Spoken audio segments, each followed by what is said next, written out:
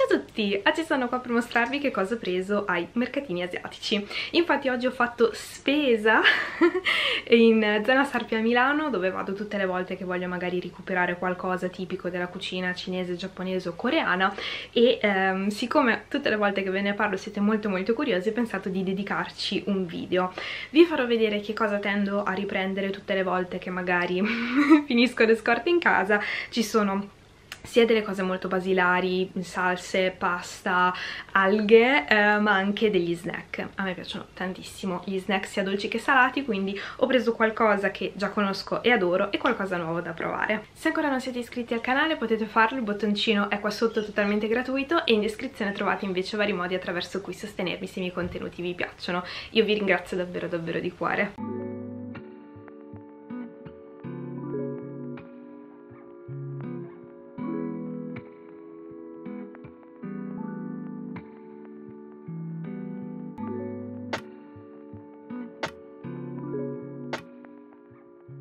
Partiamo con questi panini dolci che io adoro, questi in particolare li ho presi da Slab che è una pasticceria cinese, avevo fatto anche il mini vlog qua negli shorts, uh, io adoro, hanno torte tra virgolette pasticcini, nel senso dolcetti piccoli, ma soprattutto hanno diversi prodotti di panetteria.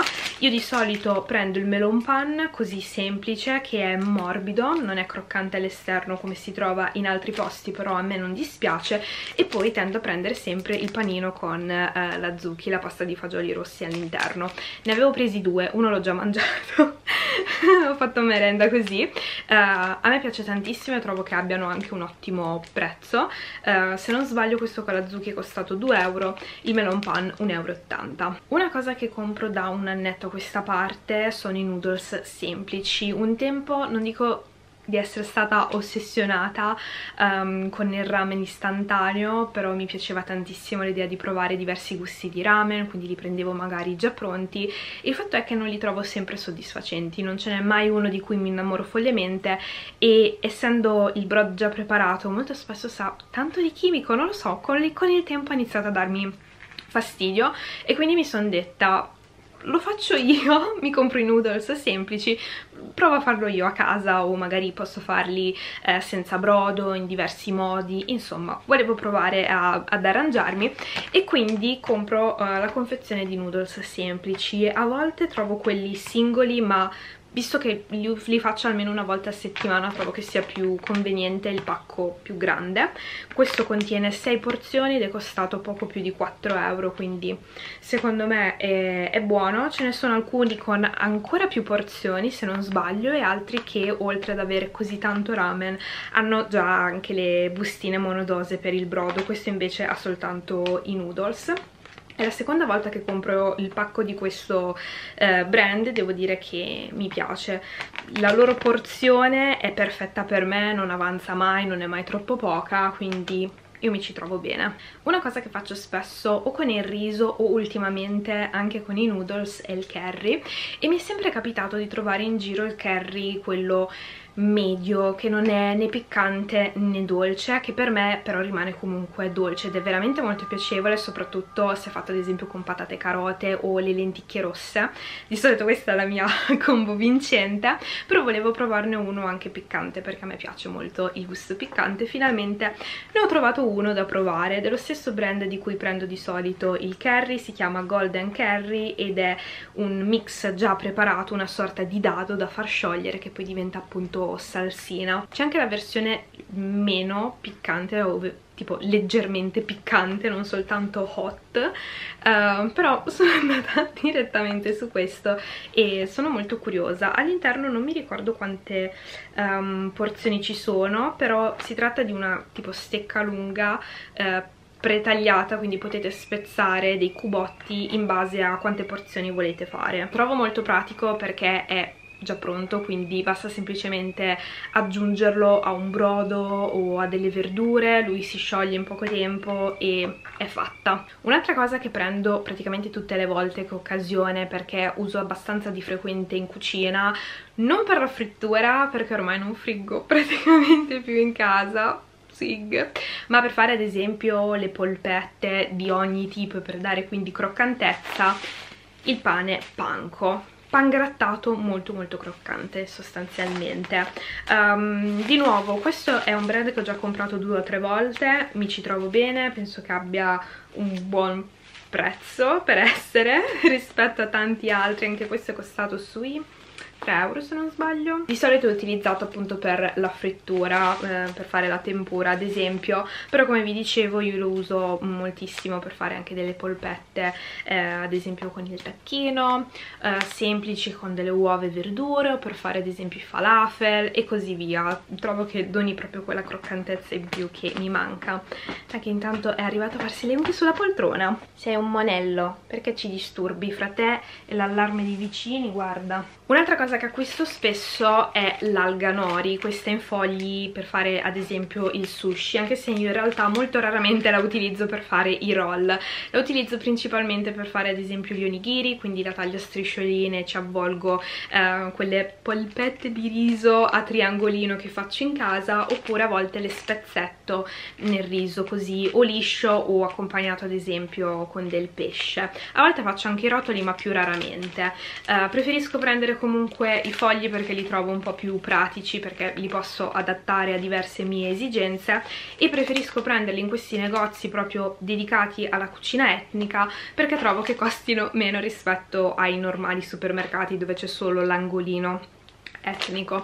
Questo se non sbaglio è costato 2,50 euro e sono 10 fogli. Fatemi sapere se questa cosa dei prezzi può esservi utile o meno anche solo per farvi un'idea di quanto possano magari costare alcune cose o per fare dei paragoni anche quando andate voi. Magari dove vivete voi costano molto meno ci rimarrei un po' male. Devo dire però Milano è super costosa. Vabbè. Dovete sapere che a me piace mangiare saporito il che non significa salato ma mi piace dare sapore a quello che mangio attraverso delle salse attraverso delle spezie o delle erbe aromatiche e così via. Quindi molto spesso in questi posti c'è una scelta di salse imbarazzante hanno una salsa per ogni cosa per i gyoza, per i takoyaki la salsa ponzu in diversi modi anche la salsa di soia c'è in diverse sfumature. Quindi io tutte le volte mi perdo lì e cerco ogni volta magari di o provare qualcosa di nuovo o se non ogni volta ogni tanto insomma mi lascio un po' ispirare. A sto giro ho invece preso una salsa che già conosco che mi piace tanto ma che non avevo più in casa e che non ha a che fare con, con l'Asia ed è la salsa sriracha che è una salsa piccante. Ne avevo presa una in passato che era eh, in una confezione simile a, a, questa che a me ricorda un po' un biberon però era granulosa e sapeva troppo tipo di pomodoro e peperone non mi piaceva per niente. Quindi poi l'ho data a mia sorella via. E a sto giro ho preso questa che invece sembra più liscia e più simile a quella che piace a me che sa quindi più di proprio peperoncino piccante. E a me piace tantissimo abbinata alle alghe e al riso o al pesce ad esempio esempio il salmone, proprio se vi piace il piccante secondo me è da provare, non è esageratamente piccante, eh? poi dipende anche quanto ne mettete, però a me piace molto e a volte lo metto anche nel brodo, sì, nel brodo mh, mm, di pesce eh, o nel brodo di pollo mi sono dovuta andare a rivedere il prezzo della sriracha ed è costata 2,90 euro e questa è la bottiglietta, era la più piccola se non sbaglio, da 200 ml. Cose nuove che ho voluto provare grazie o a causa dei K-drama. Dovete sapere che ultimamente mia sorella mi ha messo in fissa con una serie Business Proposal su Netflix. È un k-drama veramente carinissimo in cui si parla molto spesso di cibo. E um, in, in, uno dei tanti episodi eh, c'è una scena in cui mangiano fuori, mangiano dello street food e ci sono questi tipo cilindretti che chiamano tobocchi, non vorrei sbagliare, probabilmente sbaglierò la pronuncia, perdonatemi, che mi incuriosivano molto e li abbiamo trovati oggi facendo la spesa. Sono degli gnocchi di riso glutinoso, quindi rimangono leggermente uh, gommosi hanno questa forma a cilindro e molto spesso vengono fatte appunto con una salsa piccante uh, quindi ho preso i, tobocchi, ho preso la salsa, che tra l'altro sulla confezione della salsa c'è scritto invece topocchi, comunque è la salsa che serve da accompagnamento per questi gnocchetti e ce li siamo fatti subito per pranzo anche se forse con questo caldo non era l'idea migliore ma era veramente buonissimo. Se vi piace il piccante secondo me è perfetto. E secondo me questo tipo di salsa si abbina perfettamente anche col fritto. Infatti ho il sospetto che il pollo fritto che a me piace tantissimo agropiccante di un ristorante coreano sia con una salsa simile a questa. Non sono così tanto piccanti come era questa salsa ma secondo me secondo me è quella, è quello il gusto. La salsa dovrebbe essere a base di gochujang, che è questa pasta piccante coreana. È la primissima volta che prendo questo tipo di prodotto, quindi non so se la marca sia valida o meno, ho preso quello che c'era e ho preso la confezione più piccola che ho trovato, ovvero da 200 grammi. Uh, siccome a me piace il piccante, mi piace il peperoncino, penso che questo sia perfetto e anzi vedo che molto spesso viene utilizzato nella cucina delle mie amatissime signore coreane che seguo qua su YouTube nei vari vari vlog. Quindi spero tantissimo di um, riuscire a ricreare qualche loro ricetta anche se non sarà mai uguale o identica però ci proverò assolutamente. E un'altra cosa che ho preso sono gli eh, sono sempre degli gnocchi di riso però non sono a forma di cilindretto ma questa volta disco ovale. Io li ho mangiati in un ristorante coreano in una zuppa eh, quindi in un brodo. Non so se si facciano anche eh, asciutti o se vadano mangiati soltanto in brodo però già che c'ero mi sono detta perché no? Prendiamoli. Gli gnocchi di riso sono costati 3 euro il pacco con i cilindretti cilindretti e 2 euro invece i dischetti.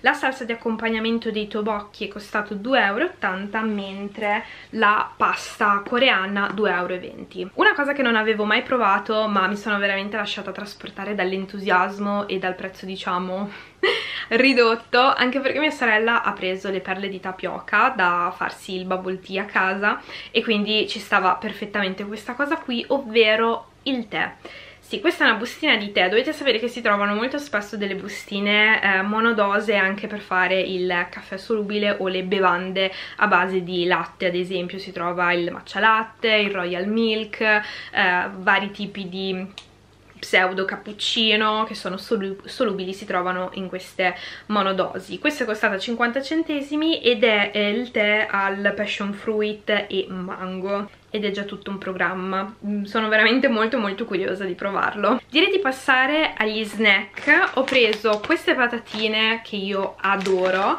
Um, proprio questo brand a me piace tantissimo e soprattutto le loro patatine al gusto teriyaki sono le mie preferite. Sono veramente molto molto buone non sono a buon mercato. In alcuni posti si trovano anche sui 3 euro, io solitamente li trovo fra i 2,60 euro e i 2,70 euro, oggi ho trovate a 2 euro ma non c'era il gusto teriyaki che piace a me, quindi ho preso questo che ha il wasabi e all'alga nori non è eccessivamente piccante per quelli che sono i miei gusti, i miei standard e trovo che siano buonissime per fare aperitivo, sono veramente veramente buone. Altri miei snack del cuore sono questi eh, a base di pisello, sono come dei cornetti di mais per farvi intendere, capire un po' la consistenza, come se fosse, che so, riso soffiato, è veramente molto leggero, però appunto sono a base di pisello e può sembrare una cosa strana ma me piacciono veramente tanto. Ho provato diversi snack di questo tipo, ci sono anche i Risi Bisi di una marca italiana se non sbaglio che fa sempre questi snack molto leggeri, croccanti a base di pisello. Um, un'altra marca che ho provato adesso non ricordo però li fanno sia al sale che ad esempio al pepe. Buonissimi, molto spesso li fanno poi in, di una forma simile che ricorda un po' il bacello di pisello veramente molto carino. Questo ahimè è costato abbastanza se non sbaglio 1,90 euro e eh, la confezione piccolina, sono 30 grammi, quindi mi piange il cuore, però sono veramente, veramente buoni. Ultimo snecchino, mai provato prima, ma lo stavo cercando da tantissimo tempo. Avevo sentito dire che ehm, era venduto anche tipo da Tiger, ma non l'ho mai mai trovato, mai da nessuna parte e quindi finalmente eh, sono riuscita ad accontentare una mia curiosità, ovvero quella dei, ehm, degli arachidi ricoperti di wasabi si capisce che mi piace il piccante, vero? Spero però che non siano eccessivamente piccanti perché non voglio stare male. Comunque eh, questo è stato lo snack sicuramente più costoso, è costato 3,50 euro, la confezione è comunque da 300 grammi quindi abbastanza grande e ehm, sono appunto arachidi con una copertura croccante a base di wasabi. Eh, questo tipo di snack a me piace molto ad esempio col peperoncino o col chili e quello sì l'ho trovato molto spesso anche da Tiger. Eh, così ricoperti di wasabi non li ho mai trovati in giro. L'ultima cosa che ho preso è da bere ed è di nuovo qualcosa che non ho mai provato prima ovvero il soju. Questa è una bottiglia da 350 ml ed è costata 4,50 euro è un liquore, se non sbaglio, anche questo coreano, c'era di diversi gusti, eh, mango, mela, eh, passion fruit, se non sbaglio c'era anche all'uva, io però l'ho voluto prendere alla pesca. Questo nello specifico non l'ho mai sentito prima e sono molto curiosa di abbinarlo alla birra, come ho visto fare eh, da delle ragazze con cui sono uscita un po' di tempo fa, siamo andate al ristorante coreano. Io ho assaggiato un bicchierino piccolo piccolo di soju, non mi ricordo se avesse un gusto particolare, a me sembrava liscio senza uh, un frutto in particolare, un gusto particolare uh, loro l'hanno versato nel bicchiere della birra e dovrebbe servire un po' ad addolcire eh, appunto la birra. Una bibita bevanda che io non bevo mai perché è troppo amara per i miei gusti, non mi piace la birra, però sono curiosa di fare questo esperimento perché mi avevano un po' incuriosita. E quindi niente, l'ho preso da, da, provare, questo di nuovo ne bevono in quantità pazzesche nella serie che sto seguendo che vi dicevo e quindi ero doppiamente curiosa di, di provarlo. Questa era tutta la mia diciamo spesa, um, non è sicuramente a buon mercato però c'è da dire che molte cose uh, non le esaurisco in un giorno, anzi alcune mi durano comunque dei mesi come ad esempio le salse o i noodles, le alghe gli snack no, ma non li mangio tutti in un giorno, quindi diciamo che è un piccolo sfizio che ogni tanto mi piace concedermi. Fatemi sapere se vorreste altri video di questo tipo, uh, magari anche proprio classici, svuota la spesa, di una spesa tipo mm, della settimana, io tendo a fare una spesa alla settimana Uh, non so però se vi può interessare o meno per questo ogni tanto li metto nei vlog perché a me piace un sacco uh, far vedere che cosa compro perché a me piace moltissimo fare la spesa mi piace provare cose nuove quindi uh, è come se facessi vedere la spesa no, a degli amici. Eh, io tutte le volte che faccio la spesa mando il video a mia sorella ad esempio e tutte le volte che lei fa la spesa sono curiosa di, di vedere che cosa ha preso quindi non so se vi può interessare, nel caso fatemelo sapere. Di tutte le cose che ho preso sono poi curiosa di sapere quale vi ispira di più o quale avete provato, vi è piaciuto o non vi è piaciuto. Poi se avete dei consigli i commenti sono sempre aperti. Torno a ripararmi da questo caldo afoso, sto veramente squagliando, spero di avervi tenuto un po' di compagnia e noi ci vediamo alla prossima. Ciao!